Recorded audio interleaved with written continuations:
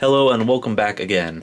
I have another project I'm going to work on, this time something not too difficult and I should be able to do it relatively easy. My brother's computer got hacked or so, uh, so I have to check it for viruses and stuff, but while I have it in my possession and I'm helping him, I'm going to see about maxing out the RAM because I believe I have enough spare RAM sticks to do that for him, and also about cloning his hard drive to a solid state drive. So I'm not going to list the model number right now just because the laptop uh, doesn't seem to list it on the bottom. Well, maybe if I remove the battery it should actually have the part. It's an HP laptop. It originally had Windows 8 on it. You can tell from the sticker's design.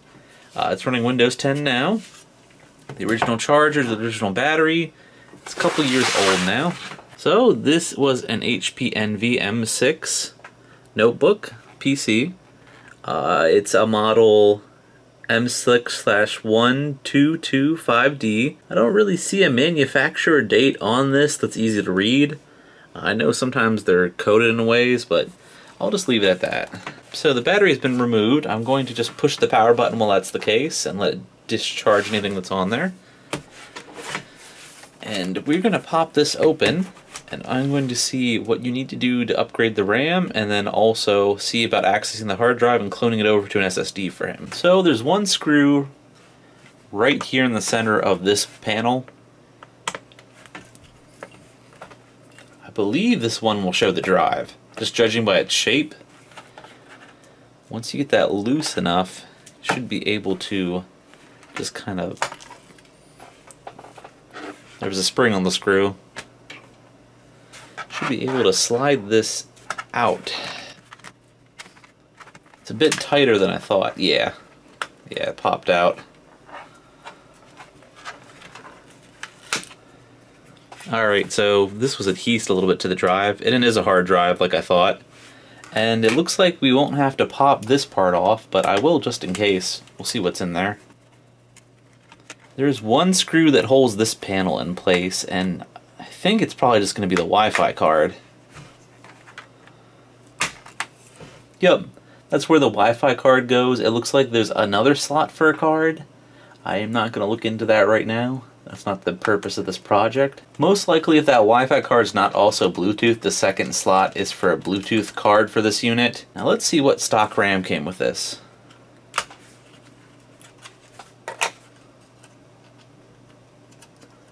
As always, make sure you carefully pop these out. Alright, so it looks like it has two 4 gig sticks of ADATA RAM, and it looks like this is PC3 or this would be DDR3 RAM. The speed is 12800S, so I'm gonna check and see what this maxes out on, and then I'll see if it will take more than 8 gigs of RAM. With a board like this, it's probably either 8 or possibly even 16 gigs of RAM. Before I go and check the RAM, I'm going to take the drive out because I'm going to scan it for malware outside of it running Windows. I don't think they got any actual malware on there. I think they just got a remote connection and they tried to trick him into paying stuff. But just to make sure, I'm going to get this out. I'm going to scan it and then I'm going to work on backing up his data for him just in case. So there is four screws, there is a SATA cable, and you can pop it off quite easily. It looks like it came with a Hitachi drive inside of it. Now I'm going to remove this from its little bracket, and even though I'm going to put a solid state in there, and it's not as important to have a bracket, in case you're going to go and add a solid state to a computer that's missing the bracket because you bought it used, uh, depending on the framing of the unit, it's not that important to have the bracket with an SSD. You have a little chance of it getting knocked out of place, but not as much. Uh, with this unit, you would, just because the SATA device is not in a standard place. It's kind of just a cable that reaches out for flexibility of placing the drive in there. Now I'm going to go and check and see how much RAM this board works on, and I'm also going to scan this for viruses and back up my brother's hard drive. I'll be back in a minute. So a little bit of time has passed. I did clone his drive to a solid state drive, so now I just need to make sure I have it lined up properly to mount it in this enclosure. Not enclosure, the bracket. I'm not going to put all the screws in just yet. I'm going to actually boot it up and make sure that the clone worked. Uh, certain clone methods might not always work properly, so it's a good idea to kind of just test it out before you screw everything in. SSDs, you don't have to worry about them staying still as much as you do traditional hard drives. So if they wobble around a little bit, it's kind of fine. So I'm going to put in this 8 gig RAM stick. And I don't know what size this RAM stick is, but I think they're both the same speed. We'll reattach the battery. Then I'm going to wipe this down just a little bit. It's a little bit dirty. A little dusty, more like it. I've seen much worse computers working in tech support. You have no idea. Alright, let's see if it boots up normal.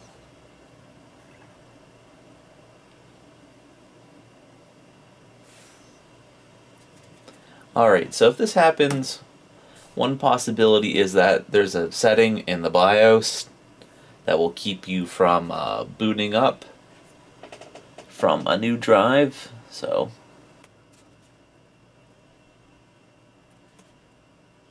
So if we turn off secure boot, that might fix it.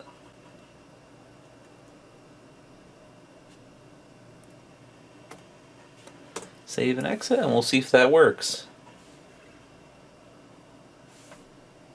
Alright.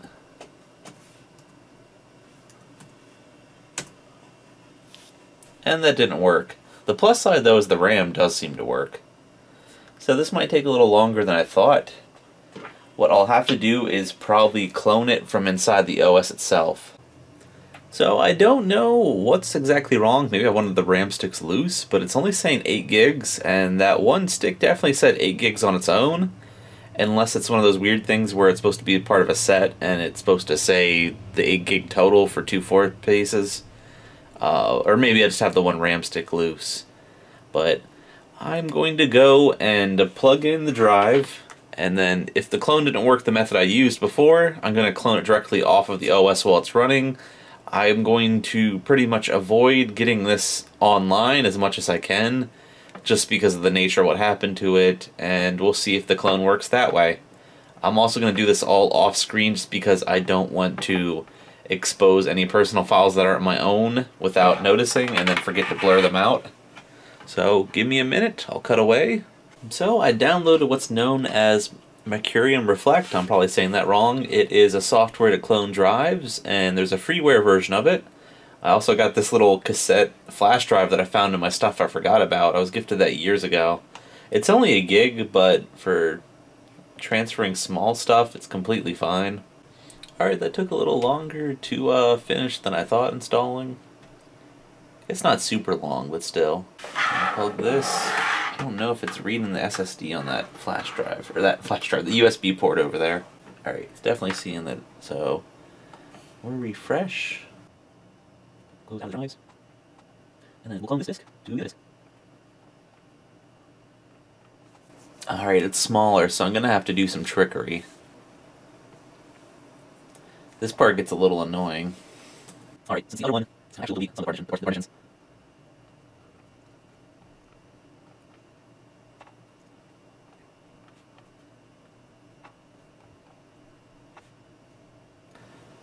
What I'll do is shrink this volume and once I make it small enough it should fit on there with no problem. So how big was that other one estimated at? Alright, we'll try to make it around 60 gigs just to start. I think it should be able to stretch past that, but...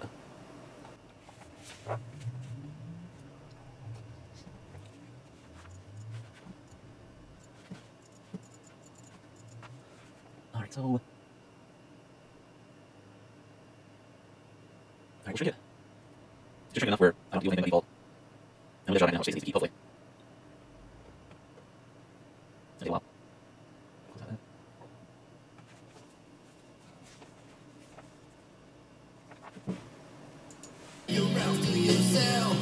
Doug Boy, Wally Fields, James Gilbert. Charles Martinet! Holy fuck! Better get in line. Alright, I shrank it about half the size it was before, so let's see if it will still give me an issue. Clone this disk, And then we will clone it to this. Next. Insufficient space. So good news, the clone did work. Okay, so evidently that other RAM stick might have been loose because that one piece that said it was an 8 gig stick is the only stick in there, and right now it says 8 gigs, so I'll try another RAM stick. It's possible I just had the other one loose, or it's possible that it might be a... Now, if it was a bad RAM stick, it wouldn't boot up. So I'm going to cut away. I'm going to mount the drive in safely and properly, and I'm going to run a virus scan. So good news, it looks like I had that RAM stick just kind of loose, and it was another 8 gig stick, so I was able to max out the RAM on his unit. Uh, for some reason, it's not using 0.1 gig of it, but still jumping from 8 to 15.9 gigs of usable memory is a nice improvement. I'm going to say that this project was a success, and I'm going to finish up doing other stuff for him, and expect me to do a similar project soon. So everybody out there, take care, and I hope you enjoyed, and I hopefully this made it easier for you to understand how to upgrade this unit. Alright, bye for now.